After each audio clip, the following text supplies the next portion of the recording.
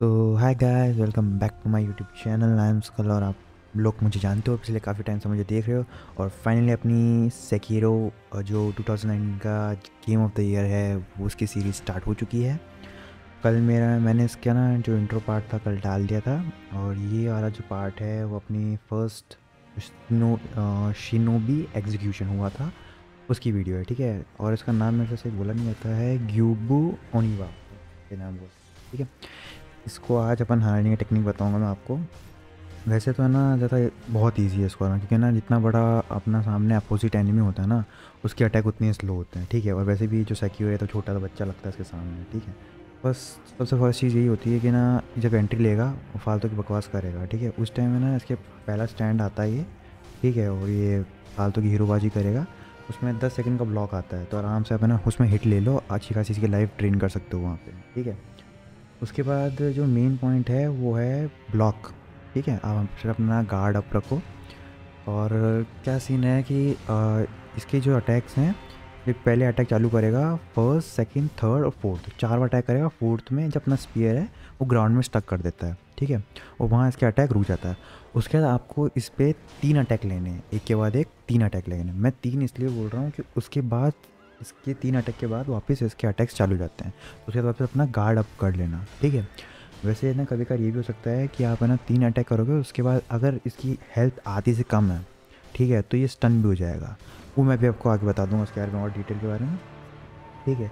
तो आपको ये ऐसे तीन अटैक करते करते करते आप आराम से उसका डैमेज ले सकते हो, बस पेशेंस का गेम है, ठीक है?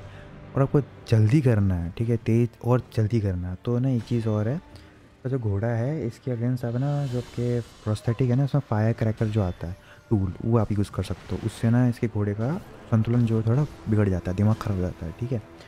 तो आप वो भी यूज़ कर सकते हो, ठीक है? मैं भी यहाँ स्क्रीन में दिख रहा होगा आपको कि कैसे इसका ना घोड़ा पागल हो जाता है ये फायर क्रैकर के यूज़ से। बाकी इसका जो फ़र्स्ट स्टेज है, उसमें दो ऐसे अटैक्स हैं जिसको आप डॉज नहीं कर सकते हो गार्ड नहीं कर सकते हो। और वो आपको पता ही होगा, आप सेक्यूर उतने टाइम से खेल रहे हो तो आपको पता ही होगा कि रेड सिंबल आता है अपने ऊपर। सर के ऊपर रेड सिंबल आ जाता है, जो है ना अनडॉजेबल जो अटैक होते हैं। वैसे है ना, मैं बताऊँगा, आपको जो अनडॉजेबल ठीक है अटैक्स होते हैं, उसे ना आप डिफ्लेक्ट कर सकते हो। अभी तक मैं भी, खैर, इतना मास्टर हुआ नहीं हूँ कि डिफ्लेक्शन मेरे से मेरे से भी बहुत रेयर होता है। मैं आपको देखो डिफ्लेक्शन की दो तीन टेक्निक बताऊँगा, अभी इसी वीडियो में आपको सामने दिख रही होगी डिफ्लेक्शन जो मैंने इस वाले में किया था। एक तो आप गार्ड अप करके रखोगे और एक डिफ्लेक्शन करोगे, दोनों में फ़र्क होता है, ठीक है? डिफ्लेक्शन में आपका पोस्चर ब्रेक नहीं हो सकता। चाहे आपकी ना येलो लाइन हिट हो जाएगी तो भी आपका पोस्चर ब्रेक नहीं होगा। लेकिन गार्ड अप में येलो लाइन हिट होते ही रेड पे और आपका पोस्चर ब्रेक हो जाएगा। लेकिन इसमें कोई दिक्कत नहीं है। अगर आपका यहाँ ना तीन जितना बताया ना आपको, कि आपका ना जो स्पेयर स्टक होगा, वहाँ तक आपको गार्ड अप करके रखना है और आपका पोस्चर ब्रेक भी हो जाएगा, कोई दिक्कत वाली बात नहीं है। उसको ना वापस सेकेंड अटैक वेव चालू करने में टाइम लगता है। तो आप वापस गार्ड अप कर सकते हो तीन अटैक करने के बाद। बाकी जब है ना ये दूर जाता है, वापस स्लाइड टैकल करता है ना? स्लाइड करता है अपने घोड़े के साथ तो वहाँ पे अपने को ना ग्रैपल का साइन आता है तो आप ना ग्रैपल करके क्लोज जाके भी मार सकते हो। कोई दिक्कत नहीं है ना? क्लोज जाओगे, वापस जाके मार सकते हो।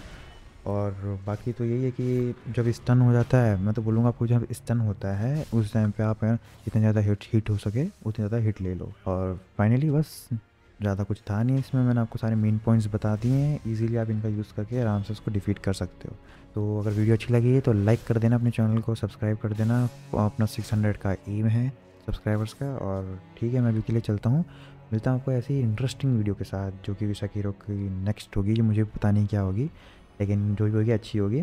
चलिए मिलता हूँ आपको ऐसे नेक्स्ट पार्ट में, तब तक के लिए गुड बाय पीस आउट